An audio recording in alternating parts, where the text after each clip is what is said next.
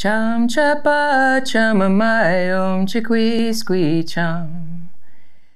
Yam yappa yam yappa yani yamayom. Yani yamayom. Chum chapa chamamayom chiqui squee chum. That was a song that was composed in mission times by three children, Cham Chapa Chamamayam.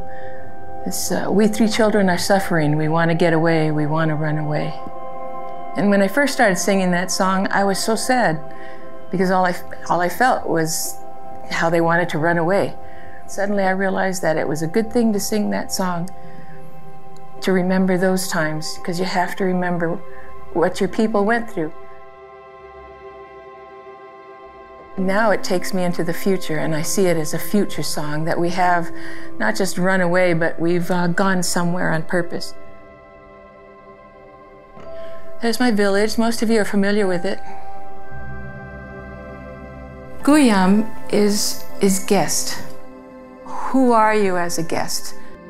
You know, what do you contribute to? Is any of your energy about the original peoples who are still around you?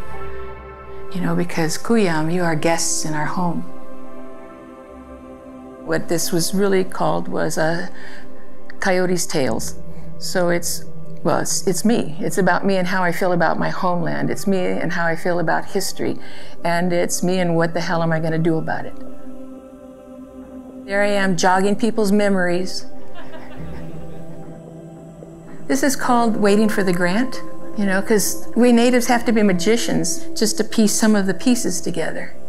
So it is like a magician's act, many have to do. Everything is set against us. Everything, because everybody who has something thinks that they're going to lose it, and they don't want to lose it.